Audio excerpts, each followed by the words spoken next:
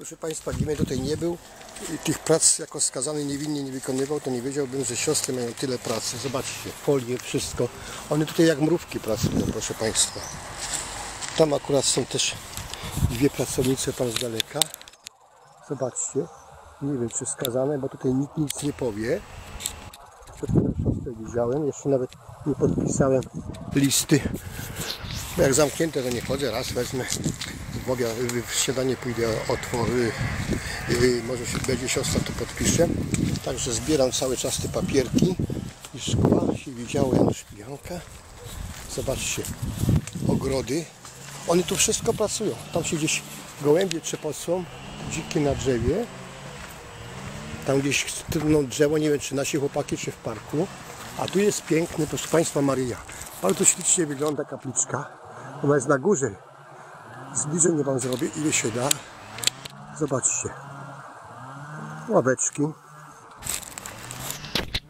I ja, proszę Państwa, w czasie pracy Wam pokażę, jak pracuję. Tu chodzę, proszę, zobaczcie. Tak. Także siedzę sobie teraz na chwileczkę. Siostro lub prokuratorze czy sędzio, proszę odpisać mi 30 sekund, że usiadłem, że filmik nagrywałem. Śmieci, kurde. Zbierać. Tak na razie nie znalazłem żadnego, to od wczoraj jeszcze są. Oka hej się widziało, bo już tak posprzątałem to wszystko, tak wyzbierałem, że Paulino W, sąsiadko, kasacja będzie wyroku, a ty odpokutujesz, będziesz na ustach ze swoim konkubentem całego sieradza.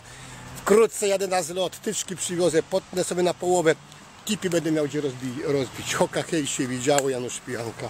Z prac niewolniczych w sekcie państwa polskiego. Ja, syn żołnierza Armii Krajowej, podporucznika dostał jako zbowidowiec, ojciec był partyzantem.